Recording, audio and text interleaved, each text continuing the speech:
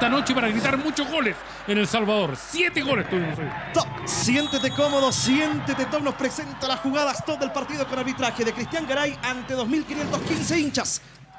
Al final fue una, fue una por cada gol. Aquí está el primero del conjunto de Cobresal.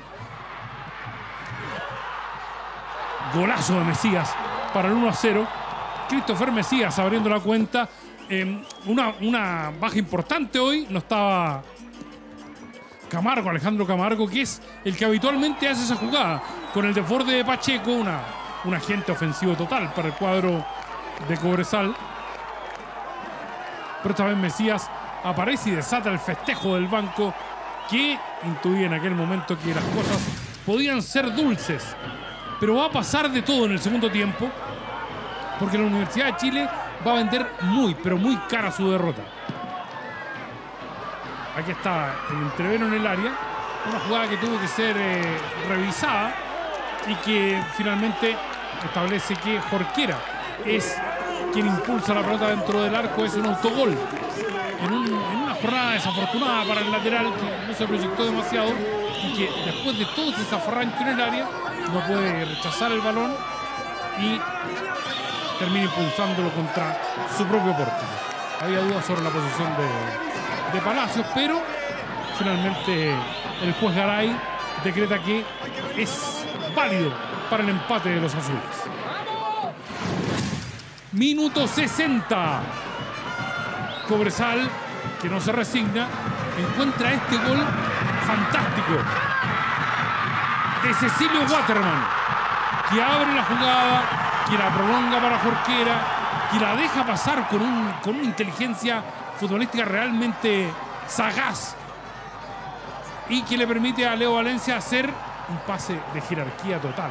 Está totalmente habilitado el panameño para sacarse encima la marca de Domínguez y también al portero Christopher Toselli para anotar la segunda cifra de un Cobresal que no se daba por vencido.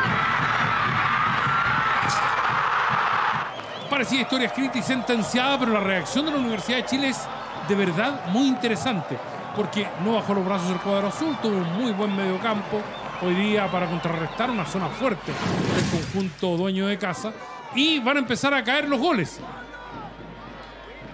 El primero es este, con el centro de Cordero, y miren el remate de Leandro Fernández, que da, pensamos todos originalmente, en, en Palacios, pero no, la revisión más detallada de la jugada nos determina que Cristian Toro es quien pretende el rechazo, también lo entiende Garay y el VAR, que van a dar con mucho suspenso esta conquista para los azules. Remate de Leandro Fernández, la pelota en el brazo de, el defensor Toro del conjunto de Cobresal y tras el VAR es empate para la Universidad de Chile en el gol de Palacios, que no perdonan esa definición frente al arco.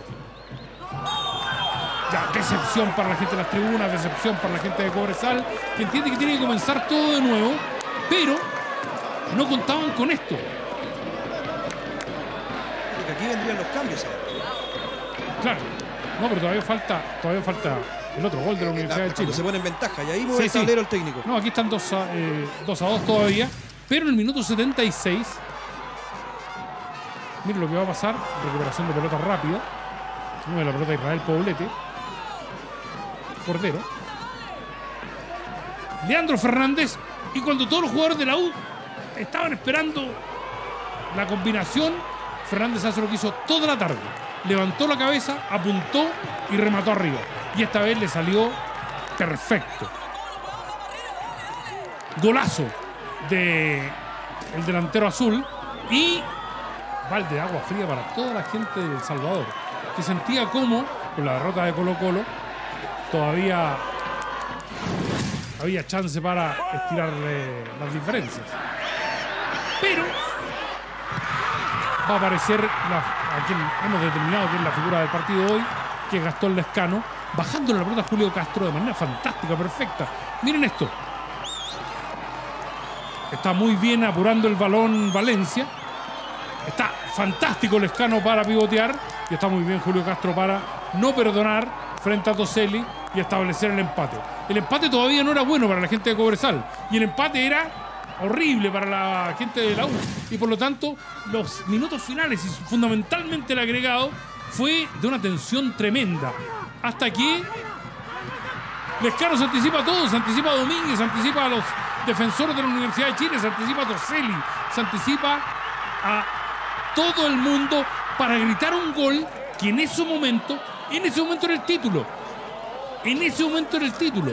Porque eh, la gente no sabía que había marcado Guachipato y por lo tanto se festeja como gol de título. Así lo festejan los jugadores de Cobresal y así lo festeja la gente en las tribunas.